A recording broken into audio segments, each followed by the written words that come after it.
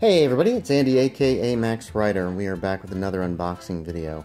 I ordered this uh, a week or so ago. I didn't order it so much as one uh, won it. I didn't expect to win this this eBay uh, auction, to be quite honest, but I low bid it, and there it is. Uh, this is from Joe Dunkel of Nampa, Idaho, and it's pretty solid. So, oh, interesting. Okay, this should be pretty easy to open up.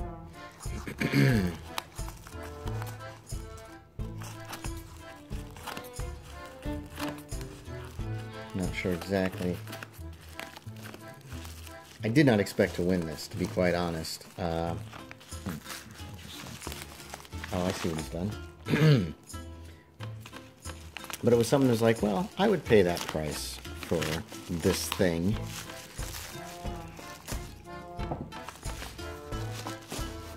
If it's what I think it is. Is it? It's got it. Maybe not. Hmm. It doesn't quite have the right feel to it, but I could be mistaken. It's not. Oh my gosh. I was totally wrong about this. Okay, so here's the thing. The the Off Islanders by, by Nathaniel Benchley uh, is actually the book that inspired The Russians Are Coming, The Russians Are Coming. And uh, Awesome. So this isn't the this isn't the auction I was thinking of. I uh, this was up for sale uh, for like fifty six dollars. So on a whim, because these books seem to be just too expensive. On a whim, I sent I sent him a, uh, an offer because he had offers open for twenty bucks, and immediately that was that was accepted. Much to my surprise, I didn't want to spend fifty bucks for this book, but I was willing to spend twenty. Smells like an old book. That's perfect. Uh, and I don't think it was free shipping, but it might have been. It might have been five bucks, something like that. But I thought well worth it. Oh, somebody has written a letter B on here for some reason. That is fine. So the original price was four dollars and fifty cents for this hardback book back in 1961, and apparently these are pretty hard to find. Nathaniel Benchley is a gifted novelist, playwright, short story writer, and essayist.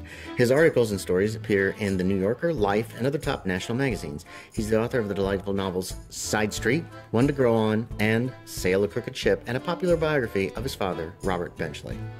McGraw Hill Book Company. With their address The Off Islanders by Nathaniel Benchley. What's going on here? It looks like they re. I don't know. They might have re-put the uh, original cover together. This is obviously the original co cover. The distraught captain of the Russian submarine only meant to chart the ocean bottom off Cape Cod, but he was stranded on a treacherous and obviously capitalistic sandbar.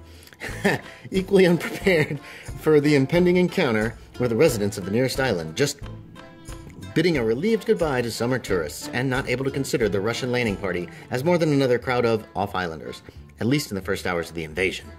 But in the bizarre clash of wills and cultures, um, as the invaders uh, command, commandeer car, lose themselves in the moors, and become hopelessly involved with the embattled, if disconcerted citizenry, the funniest and most memorable struggle between East and West unfolds.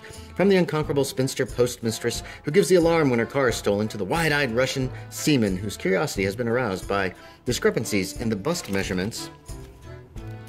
American movie stars and American fashion models have models he has seen in forbidden magazines, the Islanders and off Islanders alike are ready to defend themselves, but not quite certain of the rules of the game.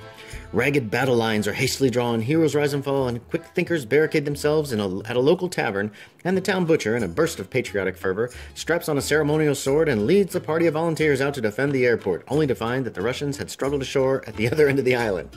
Wearing an Indian costume, the town drunk becomes a spy, and a buxom divorcee completely reorients our young Russian seaman, not only in his political persuasions, but also in his misappropriations, uh, uh, misapprehensions about American women.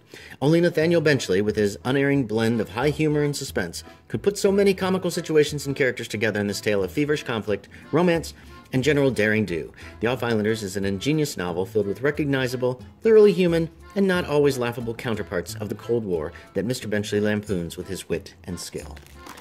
Uh, the Russians are coming. The Russians are coming are, is an excellent movie, and I know that this isn't. The book isn't the movie. I'm sure they changed a lot for the movie, but uh, I don't know. I like finding reading stuff that movies are based on and that kind of thing, just to see some of the names are the same.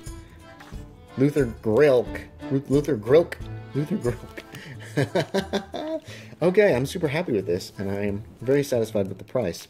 So, thanks for watching, everybody. As always, I appreciate it, and I will talk to y'all next time.